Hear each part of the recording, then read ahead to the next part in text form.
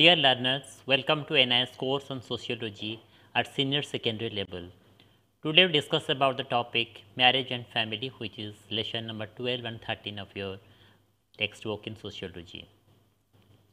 Earlier we have discussed about various social institutions, social society, community, social institutions. So in that we have discussed about marriage and family as social institutions. So in this session we discuss about what is marriage, what are the different kinds of marriage, what are changes in marriage happened throughout years. We also discuss about family as a social institutions, what are the kinds of family, family and what are the factors that affect family as a social institutions and we also discuss what kind of changes has happened in family as a social institution in the Indian context and also in the foreign context and also in the as a general social institution. Let us discuss what is marriage and what how it exists as an institution. As you know, marriage is defined as an institution for admitting men and women into family life, legitimating offsprings and establishing all the rights and obligations of husband, wife and children. So, here society gives its approval to the marital relationship between a man and woman generally in a civil or religious ceremony. After the ceremony is over, the husband and wife begin to live with each other, thereby forming a family. They give birth to children who are legally accepted by society. So, if we talk about marriage as a social institution, you might have seen the the festivals, the marriage as a festival, as an institution has its different rules and regulations. Even you will see the marriage is uh, ceremonized in a particular rituals one after another. If we if we talk about Hindu marriage system, you you might find that since it seven days uh, or before fixed fixation of marriage also engagement ceremony, then uh, ring ceremony, then the uh, on the day of marriage also there are many rituals happen and people also invite their relatives, family members and also extended family so that the marriage as a ceremony observed in the in the presence of each and every uh, individual of the society or uh, in the presence of family members or institutions. Even in case of um, uh, court marriage, you might have seen that they need a witness who can who can give certificate that marriage has happened bet between both male and female. And in case of marriage as an institution, married couples have to fulfill many obligations towards each other and society in general. In turn, they get many rights and privileges. There are different types of marriage. One is monogamy and polygamy and further polygamy is divided into polygyny and polyandry. What is monogamy?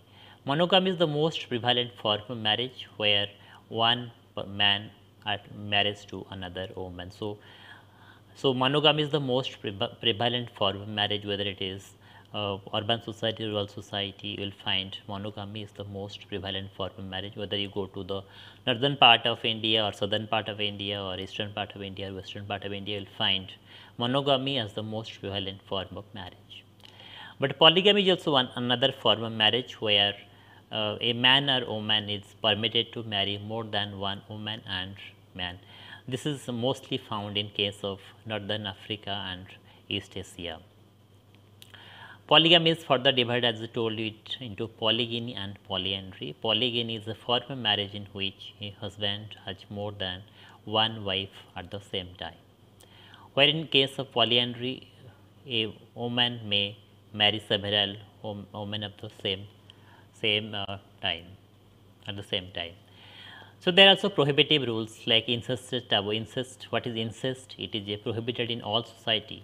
Incest implies sex, sexual or marital relations between two persons who are related by blood. For example, the marriage among cousins cannot happen. Similarly, due to incest taboo, the marriage, marriage relationship cannot happen between father and daughter and son and uh, so it, ca it cannot happen between those who are close related to each other. So, it so this is incest taboo. If we talk about exogamy, exogamy is individual marrying outside a specific group of a person who which, which is a member such as kinship group and family.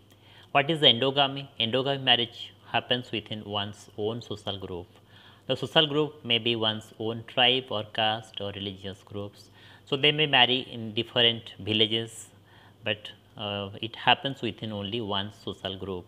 So therefore, you find that in caste is a endogamous group where a person from one caste only marries to that particular caste. So that is called endogamous form of marriage. There is also another form of marriage that is hypergamy and hypogamy. What is hypergamy? It is called where a boy from an upper caste marries to a girl from lower caste. Suppose a Brahmin boy marrying a girl from lower caste is called as hypergamy form, form of marriage. Then what is hypogamy where a boy from the lower caste marries a form of marriage. There is also another form of marriage that is takes place in a particular particular way in particular norm. So in terms of uh, performing the rituals, husband and wife plays a very vital role. So marriage not only helps in kind of gratification sexual desire, it also helps in provide economic support and also it uh, provide emotional support to the family and also strengthening the society society in a large. Let us discuss how Hindu marriage is a sacrament. Uh, because that is a major question you are being asked in a in your examination why hindu marriage is called as sacrament it is considered as sacrament because it is considered as a religious duty so hindu marriage is considered as a religious duty apart from other functions as i told you the main objective of hindu marriage is performance of religious duty like doing dharma suppose if any yajna is happening in your family so they ask that both husband and wife come together and they participate in the sradha. Similarly, uh, giving birth to children that is called Praja because unless you have a child, so your family uh, cannot go for a long time. So, when you are talking about the family has to continue for generations, so their marriage has a very vital role. So, giving birth to children is, is an important uh, function in case of Hindu marriage. Similarly, sex satisfaction is also very important uh, uh, concept that is prescribed in the Hindu marriage. So, in, the, in case of if we talk about uh, the rules and regulation, the norms in Hindu marriage, there is no provision of divorce in the Hindu text. It is considered as a union of two souls which remain faithful to each other forever जहाँ पे बोलते हैं, आत्मा का मिलन होता है। इस Hindu marriage में इसको माना जाता है, आत्मा का मिलन हो, जब शादी होता है।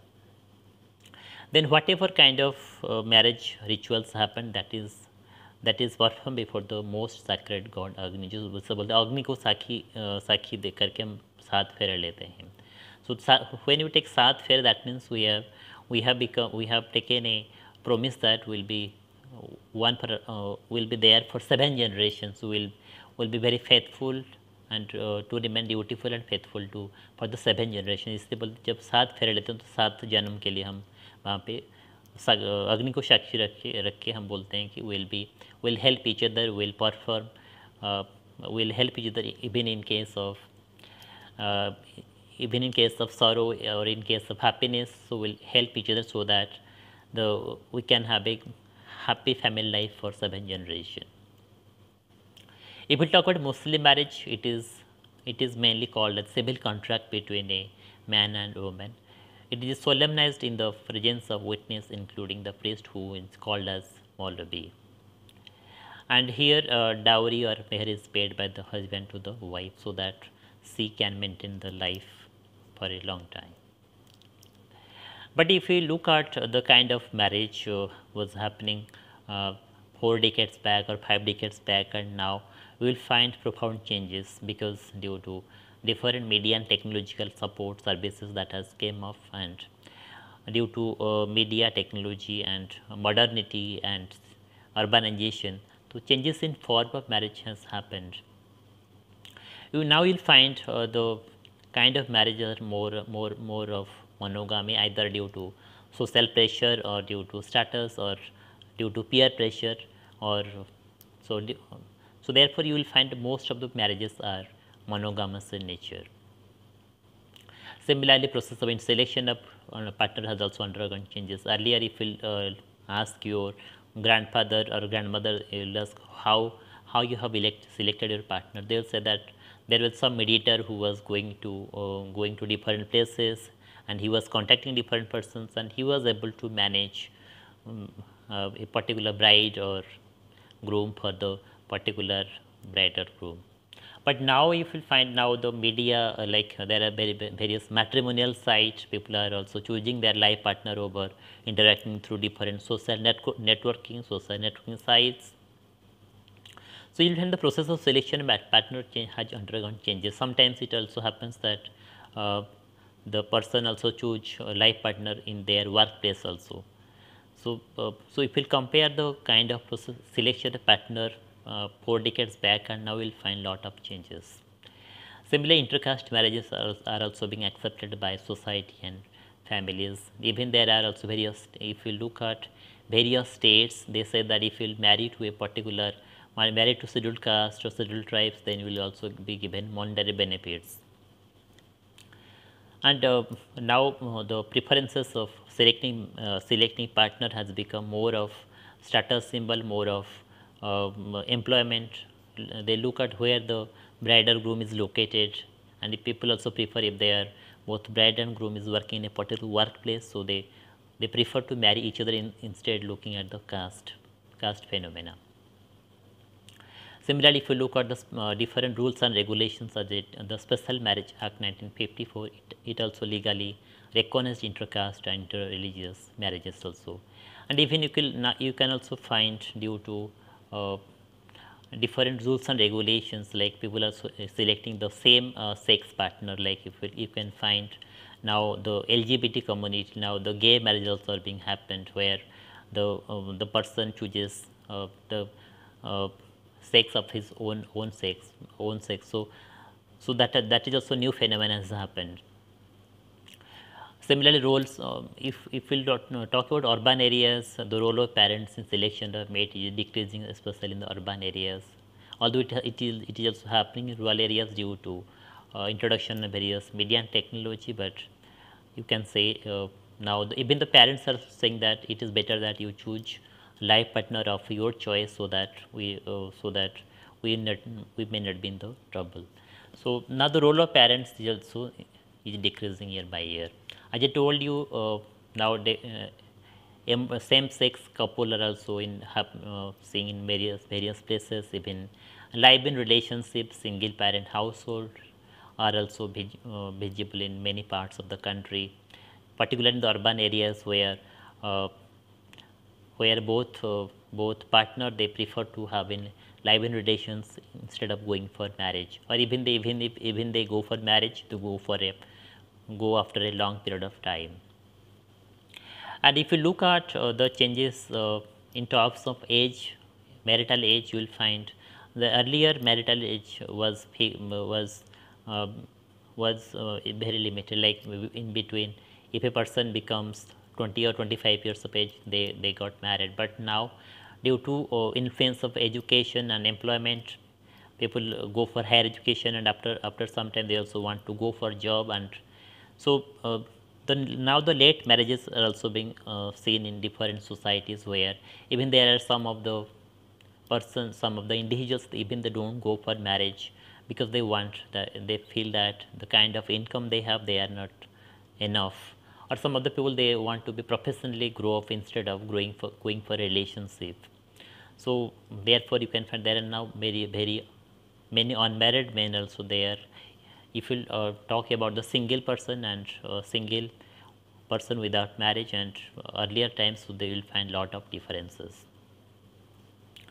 Similarly, I told you Widow Remarriage Act 1956, Hindu Marriage Act 1955 also come which fixed the age of marriage and uh, the Dowry Prohibition Act 1961 is a very landmark act which prohibits that you cannot neither you can pay dowry neither you can take dowry.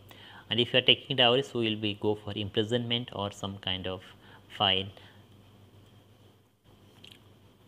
So dear learners till now we have discussed about uh, what is marriage.